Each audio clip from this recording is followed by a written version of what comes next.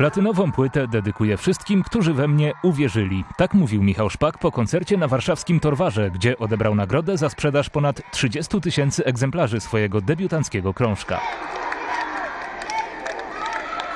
Ta płyta powstała dla ludzi, którzy wierzą w muzykę, wierzą w prawdziwe emocje. Mm, I ta płyta powstała z myślą o mojej rodzinie. O... Tam zawarte są wszystkie emocje, jakie tylko mogłem sobie wymarzyć. Emocje, które artysta zawarł na płycie, trafiły na podatny grunt. Jego fanklub to głównie panie, od nastolatek po kobiety już dojrzałe. Za co panie lubicie Michała? Ha, za wszystko. Za jego osobowość, Tak, talent. za całokształt, za to, jakim jest człowiekiem, za to, że daje siłę wielu ludziom, zmienia ludzkie życie, e, za to, że jest naturalny, autentyczny, prawdziwy. Oczywiście za głos, za wspaniałą muzykę i za to, że uszczęśliwia wielu ludzi. Dziękujemy Ci, Michał. Szpak twierdzi, że tą płytą kieruje do swoich fanów konkretny przekaz, co sugeruje już sam jej tytuł. Byle być sobą, to jest do przekazania tym ludziom. Dlatego, że często ludzie po prostu, nie wierząc w siebie, starają się udawać kogoś, kim nie są, a wtedy po prostu nie układa się ich po, po ich myśli, bo to nie są oni.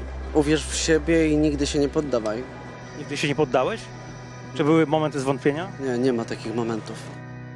Fani też nie mają wątpliwości co do szczerych intencji piosenkarza. Wierzą mu bezkrytycznie i biorą do serca wszystko, co mówi.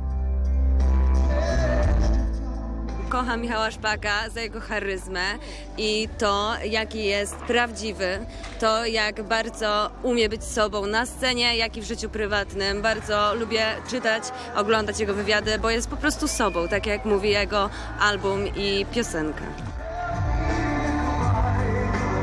Na swój pełnowymiarowy debiut piosenkarz kazał swoim fanom czekać jednak aż pięć długich lat. Tyle bowiem czasu upłynęło od jego sukcesu w popularnym muzycznym talent show. Człowiek po prostu dorasta, dojrzewa i przechodzi przez życie e, wiele sytuacji, które go czegoś uczą. Ja po prostu zbierałem inspiracje i powstał album Byle Być Sobą.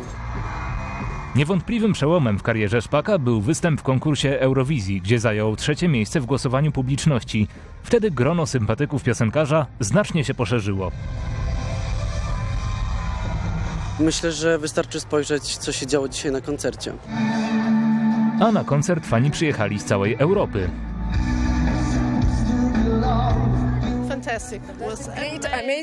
Było fantastycznie. To był wspaniały koncert. Można by o tym mówić bez końca.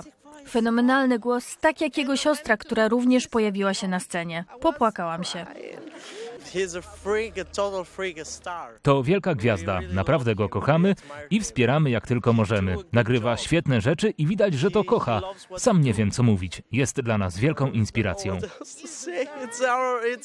To kwestia czasu, kiedy zostanie gwiazdą światowego formatu. Piosenkarz nie ukrywa, że taki właśnie ma zamiar i deklaruje, że swoje 5 minut wykorzysta w 100%.